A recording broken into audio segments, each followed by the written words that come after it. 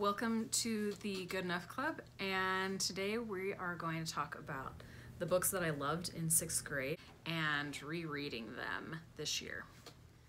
In sixth grade, I had Mrs. Gerard, and I maybe read ahead too far in the book that we were reading in class. Uh, she actually just gave me the whole book list of what she normally pulled from for her curriculum. And the books that were on that list have stayed with me. It's been like 20 years. I decided I kind of want to figure out if they're as good as I remember. I hope so. Otherwise, I'm going to be really sad. I've already reread three of the books in my little stack. Here are the books that I happen to already own that are on the list. I've already reread three of them. So the first book is Island of the Blue Dolphins by Scott O'Dell. You can see I got it for a cool 49 cents, probably at a thrift store. This story is about a girl who gets left behind by her entire community on an island and she has to use the skills that she has learned to survive. Um, throughout this, she has to battle with a pack of wild dogs uh, that live on the island and have killed her brother. Spoiler alert. She has to contend with some super serious weather. She tries to get off the island and finds that she really can't be successful at that. She also has to overcome some taboos from her community of things that are women's work versus men's work. Throughout the story, she really only has two friends. Uh, one is a dog, the other is a girl who visits the island with some seal hunters. It is based roughly on a true story, and it is a Newbery Award winner. It is very simplistic writing, but it's so good. It is so good. Um, probably the first book that I ever read that was about surviving in weird circumstances. Totally holds up. The next book I read was The Westing Game by Ellen Raskin, another Newbery Award winner. And this one is about a group of 16 people in this small town who are named as heirs to this huge fortune of the guy who basically founded the town. And they have to play a game to figure out who murdered this guy. The little blurb on the back says, Forging ahead through blizzards, burglaries, and bombings, the game is on. Only two people hold all of the clues. One of them is a Westing heir, and the other is you. So it's not like an interactive book per se, but I can see how, given the audience who it's aimed toward, like it would be a kid's natural inclination to write out all of the clues and kind of figure out what is happening. Um, but it's not so simplistic of a solution that it's not fun to read as an adult. It was a really good time. I, the next book on my list is the one that kind of inspired the idea to do this mini TBR, and that is because Lois Lowry actually just came to town. was still alive, and he's 81.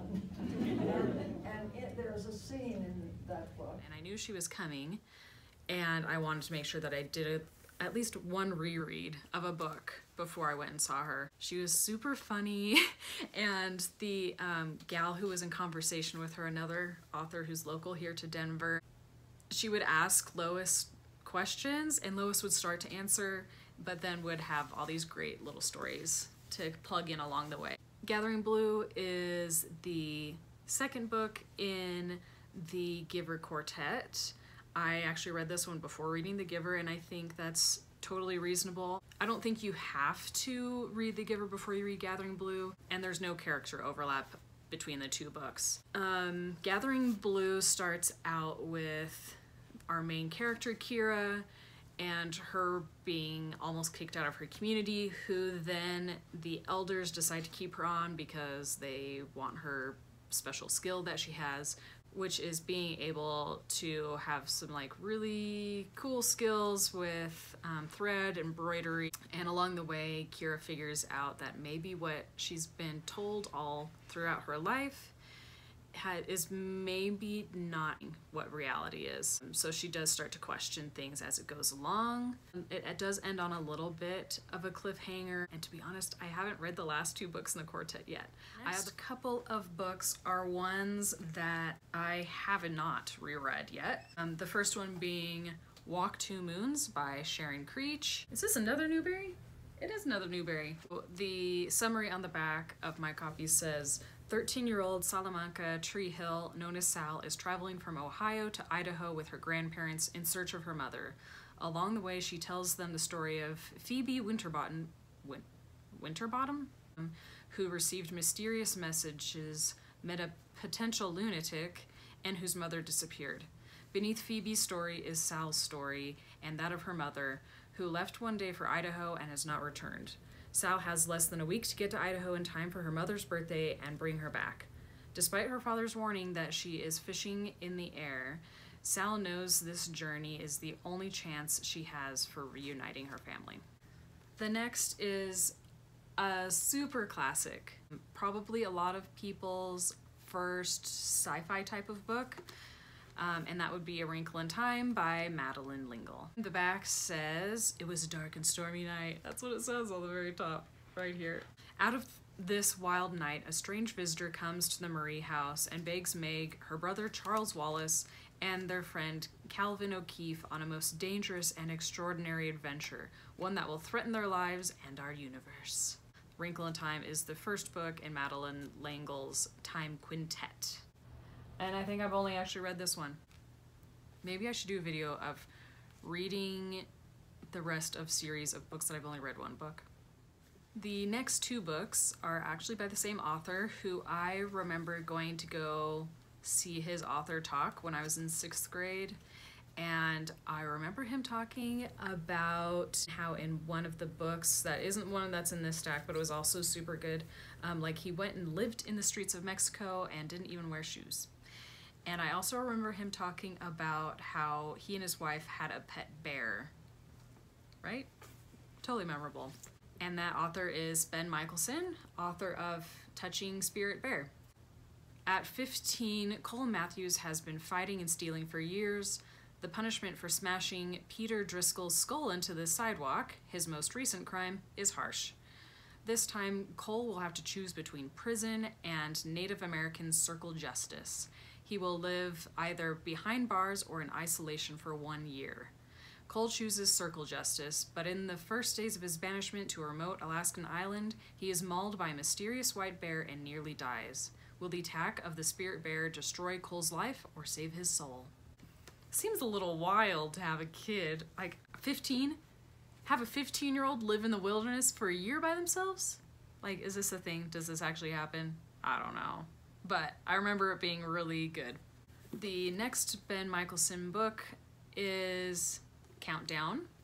Right there. When NASA selected Elliot to be the first teen in space, he eagerly anticipated the day he would board the Space Shuttle Endeavour. After intense preparations, Elliot never expected anything to go wrong on his voyage, but when danger threatens, the only contact he has via shortwave radio is with Vincent, a Maasai boy in Kenya. The two can't agree on anything. When the Endeavour makes an emergency landing on the coast of West Africa and Elliot's life is hanging in the balance, can he and Vincent reconcile their cultural differences and become friends? I mostly remember about this book um, that um, Elliot cheats during his training. So we'll this one I'm I don't know if it will hold up, but I'm hoping it does a book that I almost forgot to put in this stack until I was like, kind of packing stuff up, to be honest. The True Confessions of Charlotte Doyle by Avi. A Newbery Honor book.